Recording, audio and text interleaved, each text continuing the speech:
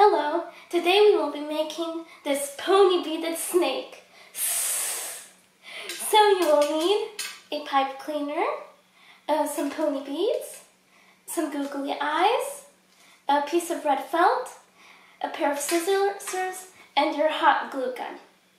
So for this first bead, you will need to place the bead on and put it like this and make a small V shape on the end here Put the pipe cleaner together and twist. So this is for the tail. Now you will keep on placing your beads in an alternating pattern.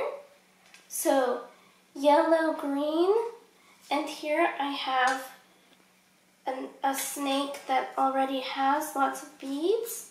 And so I will finish this and then for the head, you want to have all of the same colored beads because the uh, head of the snake is one color. And so I have all of these green beads. And afterward, I will twist the head into the shape.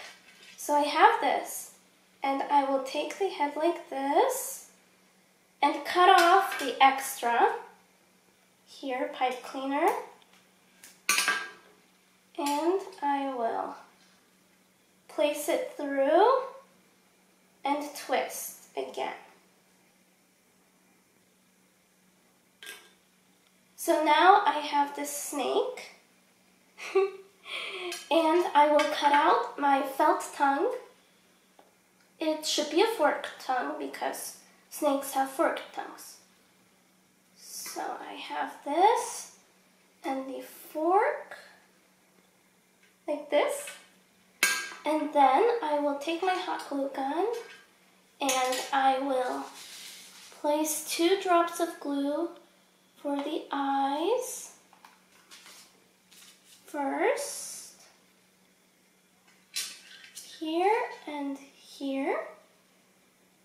And then on the bottom, I will place a drop of glue to glue my tongue, like this. Snake is ready to play. And you can twist him in all sorts of positions. Thank you for watching.